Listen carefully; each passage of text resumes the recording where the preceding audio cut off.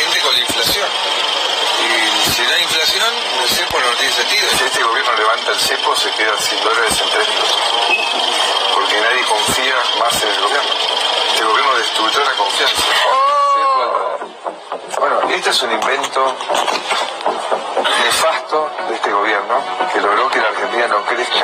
Medidas de control de capitales que pusimos y comunicamos que lo que hace es preservar esas reservas poniendo eh, límites a eventual dolarización. En los últimos días de la semana pasada observamos un aumento importante en la demanda de dólares, principalmente por parte de los individuos. Ante el riesgo de que este fenómeno se mantuviera esta semana, es que decidimos profundizar los controles en este frente. A partir de hoy hemos reducido a 200 dólares mensuales el monto máximo que pueden comprar los individuos para atesoramiento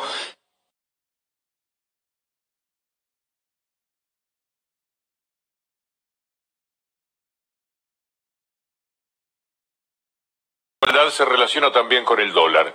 Si usted tiene un millón de personas que siempre compran dólares, aumentó el número bastante durante la pandemia porque a la gente le sobraba el dinero que no estaba gastando, a alguna gente, a la mayoría, por supuesto, le faltaba.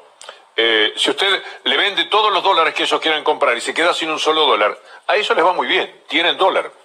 Lo ponen en el bolsillo, lo ponen en una caja y pueden estar más satisfechos. Ahora, hay por lo menos 42 millones de personas que se quedan afuera de eso. Y cuando el país se queda sin dólares, el país no puede producir. Si no puede producir, no tiene fábrica. Si no tiene fábrica, no tiene trabajo. Si no tiene trabajo, no tiene cómo darle de vivir y sobre todo cómo darle dignidad a la gente.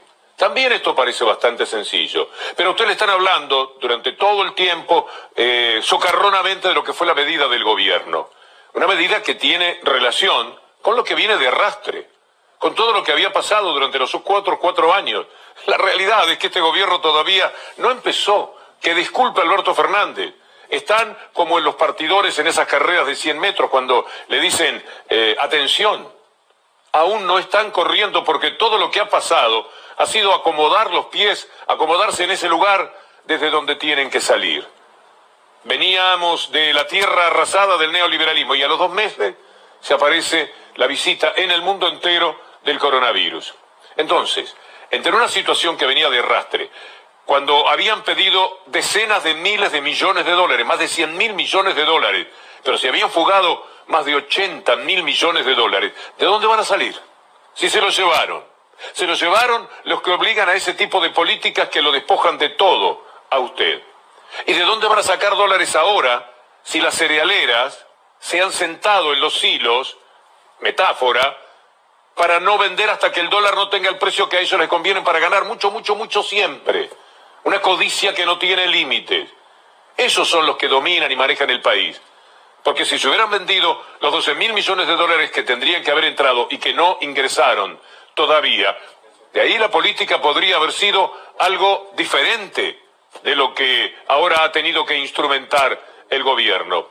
A veces duele que cueste tanto entender esto que estamos señalando. El antecedente lo que podría pasar si se permite que todo el mundo eh, compre dólares a como de lugar.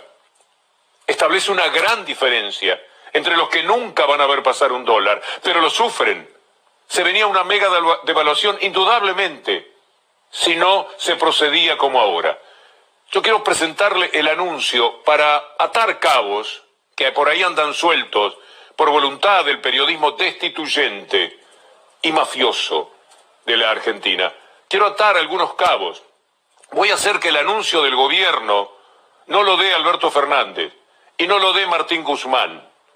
El anuncio del gobierno lo va a dar el ministro que estaba en octubre del año pasado.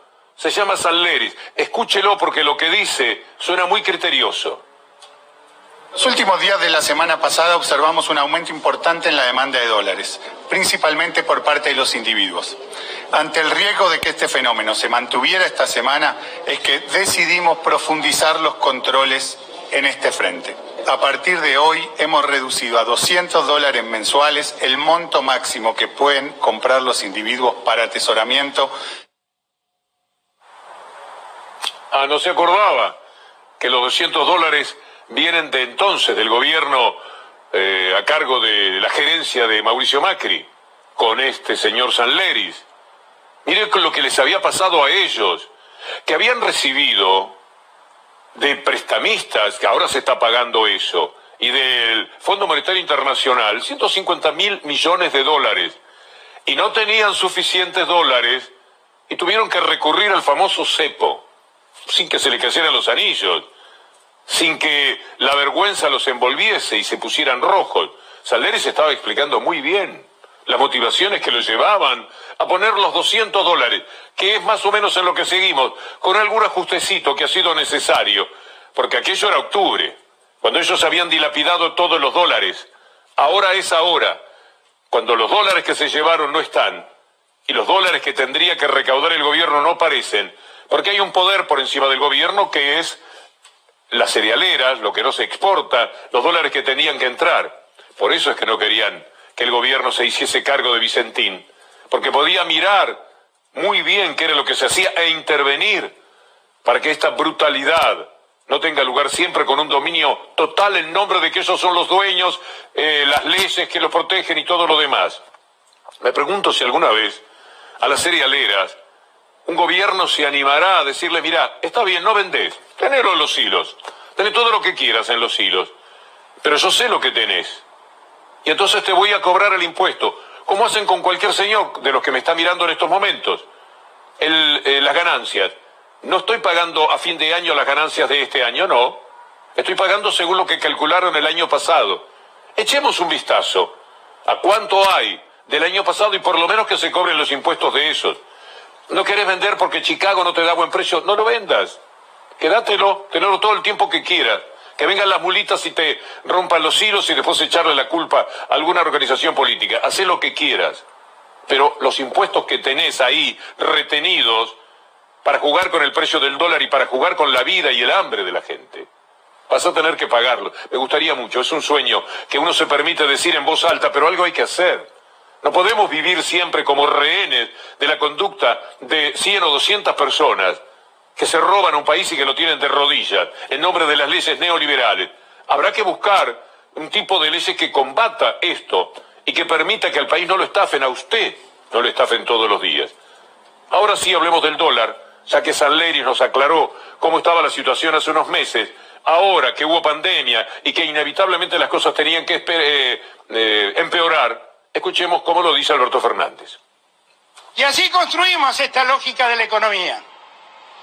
Una economía que ya no promueve más la especulación y quiere que el dólar deje de ser un mecanismo de especulación, una variable para que algunos acumulen dólares en un país donde los dólares hacen falta para producir, no para guardar. Y vamos a seguir trabajando.